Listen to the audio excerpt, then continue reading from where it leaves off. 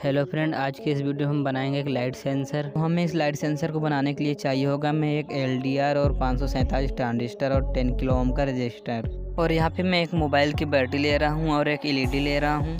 आप चाहें तो लिथियम मैन बैटरी भी यूज़ कर सकते हैं।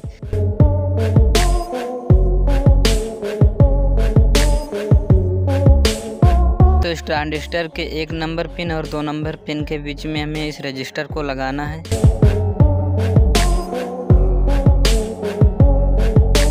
चलिए हम इसको सोल्डिंग कर लेते हैं।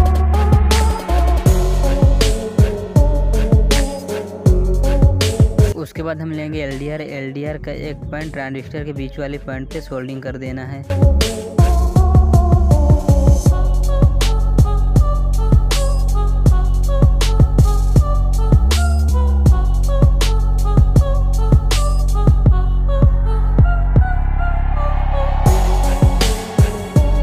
एलईडी प्लस पॉइंट ट्रांजिस्टर के तीन नंबर पॉइंट पे सोल्डिंग कर देना है।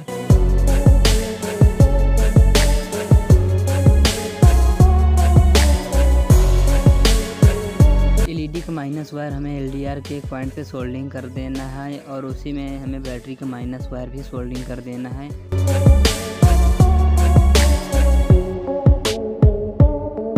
उसके बाद बैटरी के प्लस पॉइंट ट्रांजिस्टर के एक नंबर पॉइंट पे सोल्डिंग कर देना, जिसमें रेजिस्टेंस लगा हुआ है।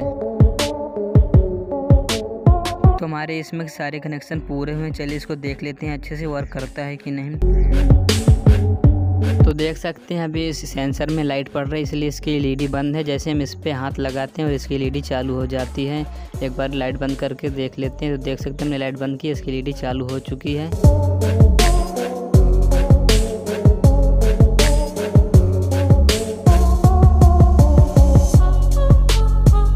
तो फ्रेंड, इस सर्किट में एक बहुत बड़ी प्रॉब्लम है, इसकी बैटरी भी फुल चार्ज है, फिर भी इसकी एलईडी बहुत धीमी ग्लो करती है। तो फ्रेंड, मैंने सिर्फ़ इसको एक्सपेरिमेंट करने के लिए बनाया, क्योंकि इस टाइप की वीडियो यूट्यूब पर बहुत सारी अपलोड हैं, ये सक्सेसफुली वर्क करते हैं कि नहीं तो फ्रेंड, आपने देख ही लिया।